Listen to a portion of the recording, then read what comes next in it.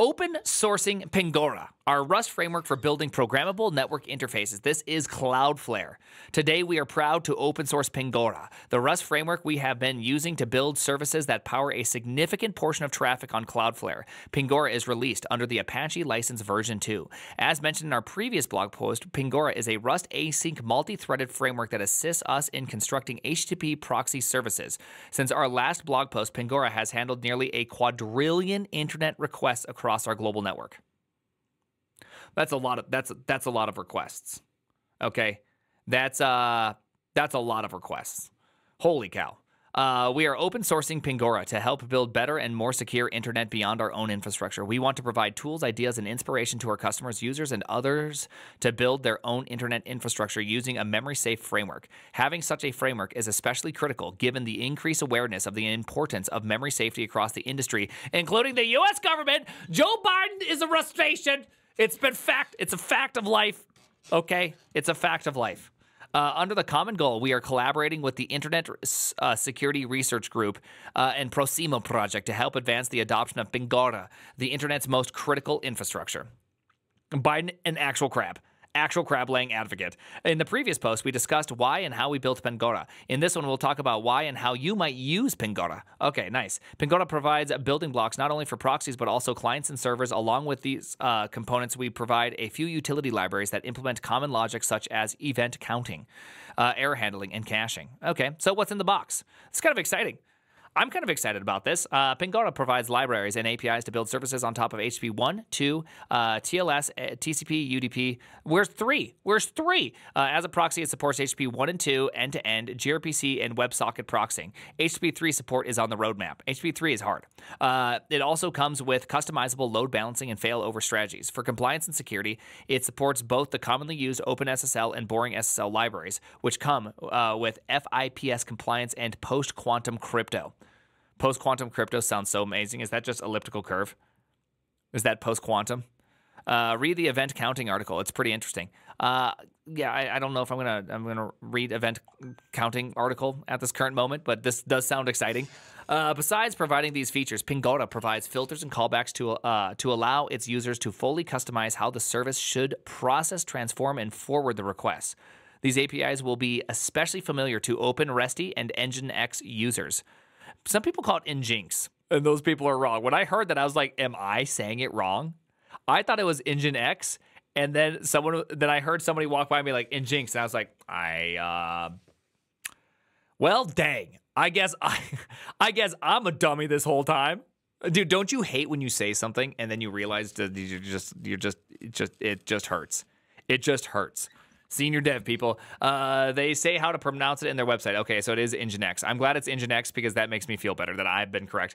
Uh, the many uh, map intuitively into OpenResty's uh, by Lua callbacks. Ooh, Lua mentioned. Brazil mentioned. Brazil mentioned. Operationally, Pingata provides zero downtime, gracefully restarts to upgrade itself without dropping a single incoming request. Syslog, Prometheus, Sentry, OpenTelemetry, and other must-have observability tools are also easily integrated into Pingora as well.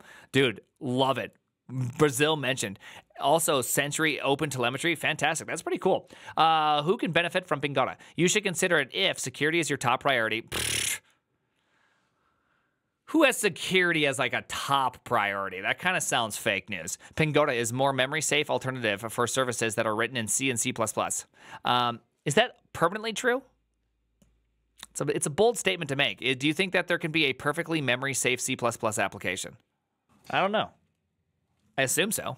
Uh, memory safe, fearless concurrency. Uh, anyways, while some might argue about memory safety among programming languages, from our practical experience, we find ourselves way less likely to make coding mistakes that lead to memory safety issues. Besides, we spend less time struggling with these issues. We are more productive implementing new features. Fair. Uh, your service is performance sensitive. Pingata is fast and efficient. As explained in our previous blog post, we save a lot of CPU and memory resources thanks to Pingata's multi-threaded architecture. The saving in time and resources could be compelling for workloads that are sensitive to the cost and or speed of your system. Okay, I like that.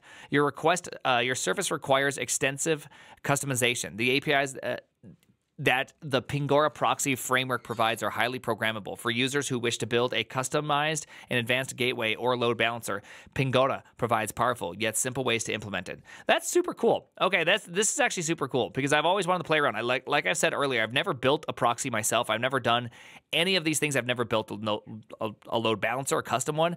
I've never done any of those things. So it would be a lot of fun man see there's just so much things i want to do and not enough time in the day because i gotta go i gotta go back to work soon. Uh, let's explore pingora programmable uh, api by building a simple load balancer. The load balancer will select between 11111 and 1001 to be the upstream in a round robin fashion. Okay cool. We should be able to follow this pretty easy. First let's create a blank http proxy. All right we have a struct load balancer we have an async trait uh, impl proxy load balancer async function upstream peer result in uh, result box http peer.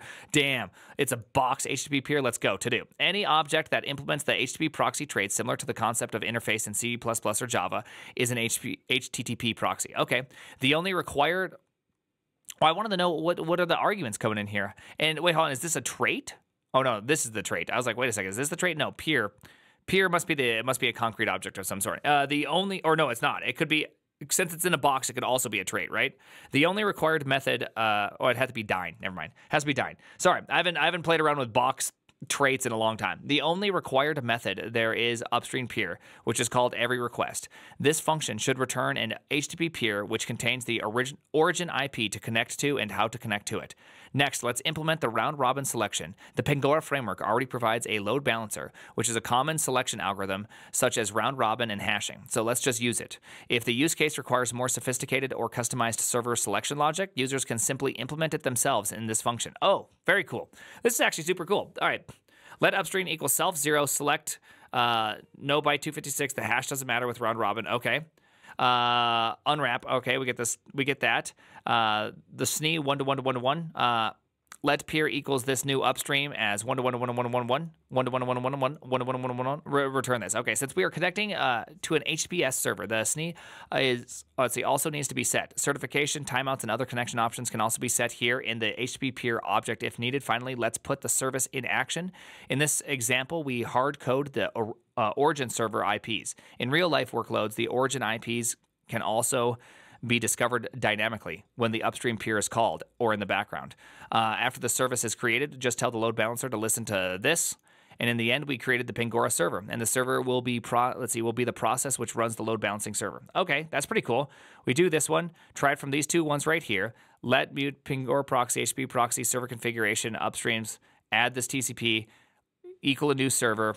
My server add service run forever. It's pretty cool. So any of your structs can become load balancers by simply implementing the HTTP proxy and just having this uh, upstream peer re uh, returning this out. Okay, that's pretty cool.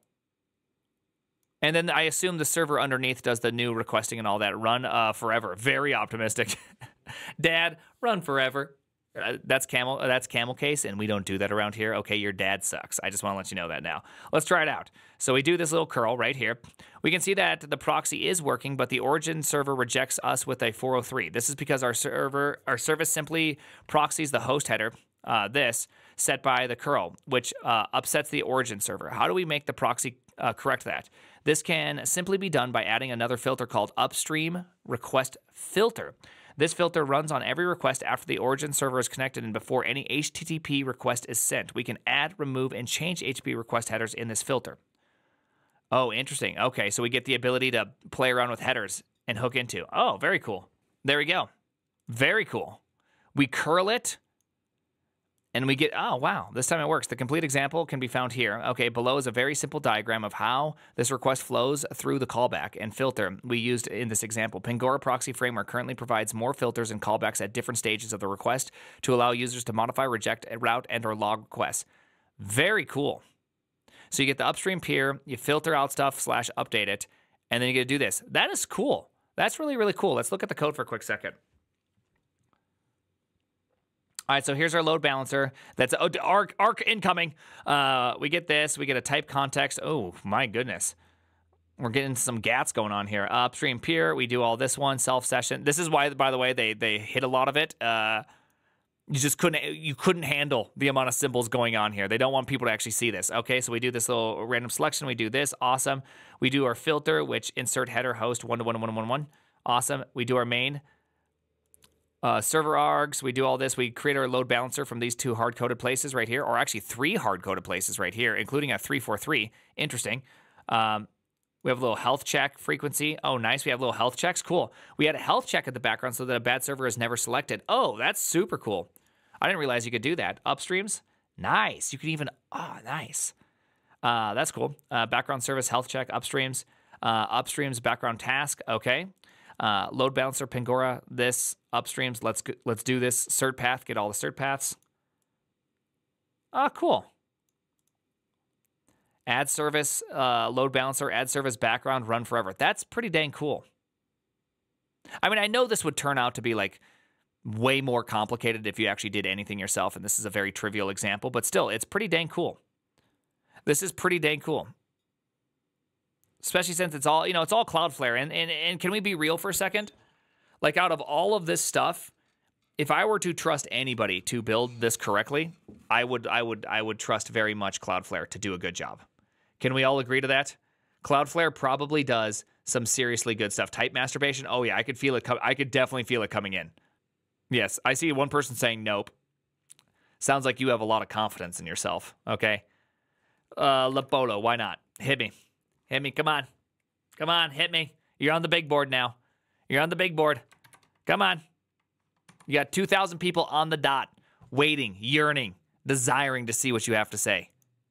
I just don't like Cloudflare.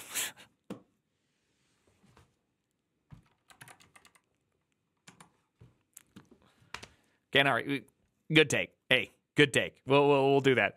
We'll do that. We'll, we'll be fine with that. I mean, honestly, you just owned me with facts and logic, so I actually have nothing to say at this point. Open source present and future. The Pingora is a library and a tool set, not an executable binary. Just give me an EXE!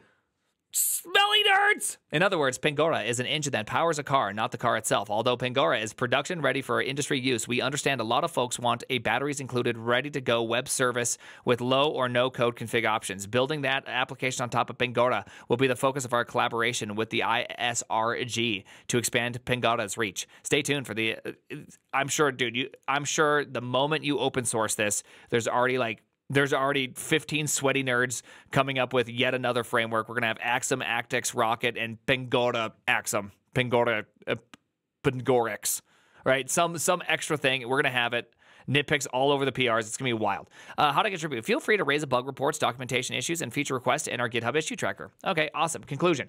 Uh, let's see. In this blog, we announced the open source of our Pangora framework. Thank you for telling me what I just got done reading. Isn't it always strange when people do phrases like this? Like, thank you for watching. I just got done telling you about X. You're like, yes, you did. You sure did. You did. You did that. Thank you for that. Uh, we showed the internet uh, the that internet entities and infrastructure can benefit from Pangora's security, performance, and customizability. We also demonstrated how easy it is to use Pangora. And okay, I don't care at this point. Blah blah blah blah blah. This was super cool though. It was very cool to see how simple it was to create this. I still need to actually do this, and I'm sure there's a day where I'm going to build my own load balancer, and then I'll build a couple load balancers, and I'll be all super excited about load balancers and proxies and all these things, and I'll know exactly how they work. Because right now they're just a bunch of there's they're just a bunch of squares in my head. And so it'd be very, very, very nice to have like it not as squares, but as actual concrete stuff. And so it sounds like this would be a lot of fun to look at. Dang.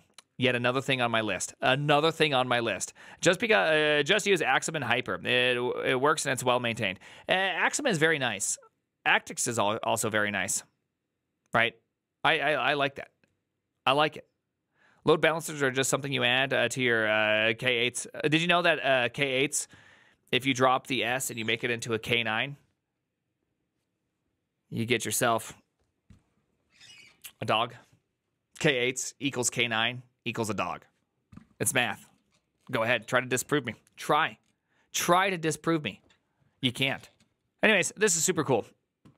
Oh man, I want to play with all this stuff. All right, anyways, oh man, there's so much stuff I want to play with. The problem is, is that like I have no opportunity to use Nef- uh, Rust at Netflix in any sort of realistic way. So I've just kind of given up the fight. I want honestly, I just want to use Go at this point, but even that is just like so hard to do, other than certain teams. I was Go adjacent for a long time, but it's like so hard to use it You know what I mean? Java forever. It's actually Node. Everyone wants to use Node, and I think they're all wrong. But I don't get choices on that.